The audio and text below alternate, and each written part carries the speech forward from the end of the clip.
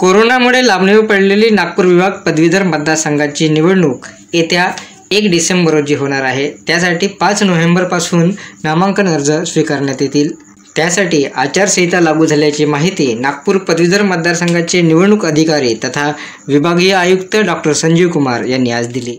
या निवडणुकीची अधिसूचना पाच नोव्हेंबरला प्रसिद्ध होणार आहे. बारा नोव्हेंबरपर्यंत अर्ज स्वीकृती होईल. प्राप्त अर्जांची छाननी तेरा नोव्हेंबरला तर अर्ज मागे घेण्याची मुदत सतरा नोव्हेंबरपर्यंत असणार आहे.